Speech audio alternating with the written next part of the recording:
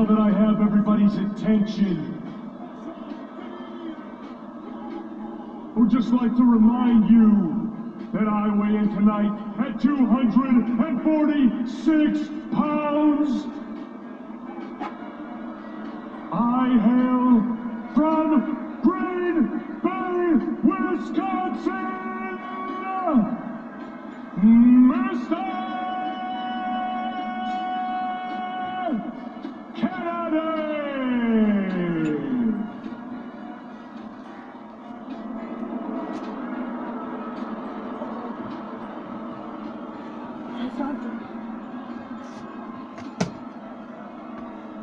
Saturday.